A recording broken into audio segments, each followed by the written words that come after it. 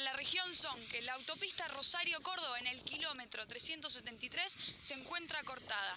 La gente que venga desde la ciudad misma de Córdoba deberá desviar por la ruta 178 hacia la ruta nacional número 9 y aquellos que vengan desde eh, Las Parejas o hacia Rosario deberán ir por la misma ruta nacional número 9, sí, que hasta el momento ya está colapsada. Bueno, Gabriela, vemos lo que nos decía esta mañana eh, con respecto al tema del jefe de protección civil.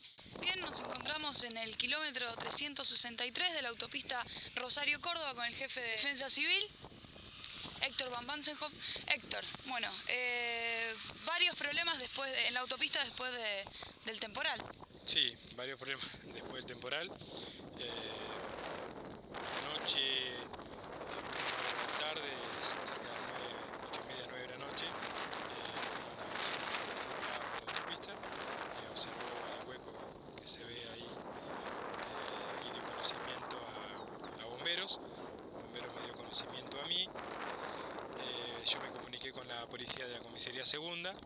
eh, el comisario Pereira envió rápidamente un móvil al lugar. eh, le di también conocimiento a Cinco Vial.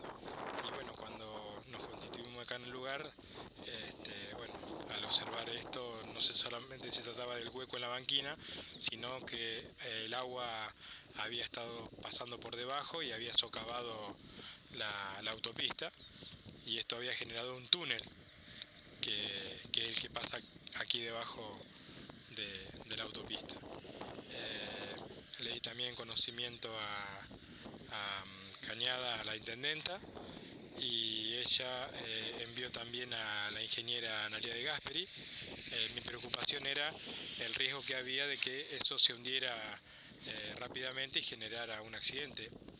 Eh, bueno, la arquitecta compartió la, pre- la preocupación que yo tenía, eh, dado que es un túnel directamente que ha socavado el agua y esto está en el aire y si un vehículo de gran porte con peso pasa es muy probable que, que se hunda. De hecho ya una de, la- de las manos, que la mano este, del lado de la banquina donde se observa el hueco, está rajado.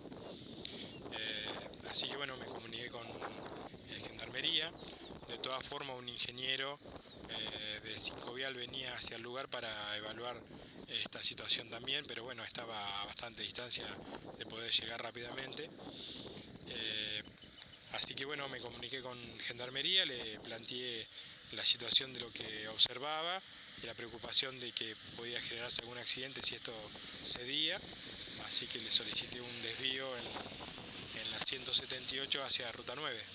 Eh, si bien no, no era mi, deseo eh, desviar a la 9, yo sé que se complica bastante la Ruta 9 en Cañada, de hecho padecimos durante mucho tiempo hasta que se estuvo realizada la autopista eh, por la gran cantidad de vehículos, Eh, pero bueno, lamentablemente eh, es para evitar un, un accidente, así que va a estar cortado por lo menos, por lo que me decía la gente de Cinco Vial, durante el día de hoy van a empezar a hacer la- las obras de reparación. No sabemos bien hasta, hasta cuándo va a estar cortado, pero posiblemente si hacen todo completo, eh, por lo menos más de una semana. Una semana cortada y por lo que vemos eh, va a haber operativos aquí para la gente que venga de Córdoba que solo pase por este pedazo, por la mano izquierda. En realidad va a estar todo cortado. Deben desviar desde... eh, vamos a ver qué, evalúa el, ingeniero de, la empresa Cinco Vial. Eh, en principio está cortada las dos manos porque el túnel eh, abarca eh, tanto el carril lento como el carril rápido. Así que por lo pronto están los dos carriles cortados. El desvío está en la 178, todo lo que viene de Córdoba hacia la 9 y posteriormente pueden retomar a la altura de eh, la 91 o de Correa. Bueno, y hasta el momento es eh, del único problema, del único daño que tienen conocimiento. Hasta el momento sí. Bien, muchísimas gracias Héctor. No, por favor.